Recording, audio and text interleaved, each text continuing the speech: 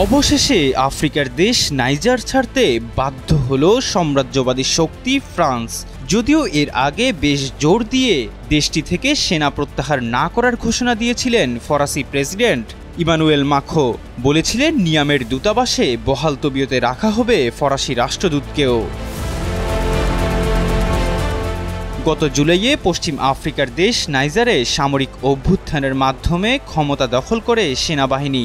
তারপর থেকে দেশটি থেকে ফরাসি সেনা প্রত্যাহারের চাপ দিয়ে আসছে জান্তা সরকার ও নাইজারের নাগরিকরা। এমনকি সেনা হঠাতে বিশেষ নামাজও আদায় করেছে নাইজারবাসী। এসব ঘটনার পর পিছু হটতে বাধ্য হলেন প্রেসিডেন্ট মাখো। স্থানীয় সময় রোববার নাইজার থেকে সেনা ও রাষ্ট্রদূতকে প্রত্যাহার করা হবে বলে জানান মাখো।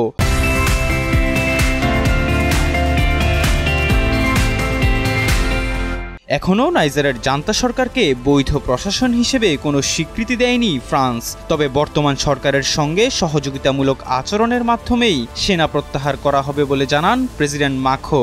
ফরাসি টেলিভিশন টিএফ ওয়ান ও ফ্রান্স টুকে দেওয়া এক সাক্ষাৎকারে এমনটা জানান ফরাসি প্রেসিডেন্ট। কয়েক ঘণ্টার মধ্যেই নাইজার থেকে রাষ্ট্রদূত ফিরিয়ে আনবে ফ্রান্স।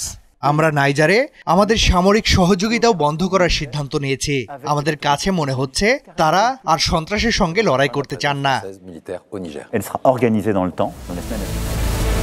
মাখো বলেন, চলতি বছরের শেষ নাগাদ আফ্রিকার দেশটি থেকে দেড় হাজার সেনা সরিয়ে নিবে প্যারিস। তাৎক্ষণিকভাবে ফরাসি রাষ্ট্রদূতকেও প্রত্যাহার করা হবে বলে জানান তিনি। এরই মধ্যে জান্তা সরকার ও নাগরিকদের বিক্ষোভের মুখে ফরাসি সেনা প্রত্যাহার। অঞ্চলটিতে রুশ প্রভাব বাড়তে সাহায্য করবে বলে উদ্বেগ জানিয়েছেন অনেকেই। প্রতিবেশী মালিতে রুশ বেসরকারি সেনাদল ওয়াগনারের ঘাঁটিও রয়েছে।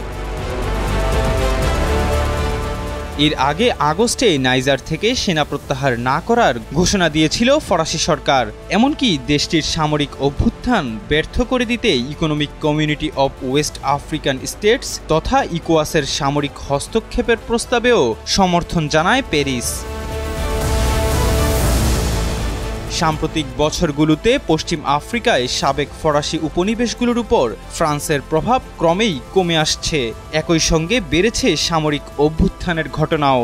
এরই মধ্যে মালি এবং বুর্কিনা ফাসো থেকেও প্রত্যাহার করা হয়েছে ফরাসি সেনাবহর। যদিও অভ্যুত্থানের আগে ফ্রান্স ও যুক্তরাষ্ট্রের অন্যতম নিরাপত্তা সহযোগী ছিল নাইজার। এমনকি অঞ্চলটিতে ইসলামী উগ্রবাদীদের দমনেও সহায়তা করে আসছিল নিয়ামের সেনারা। এহসান আবদুল্লাহ, কালবেলা ডেস্ক।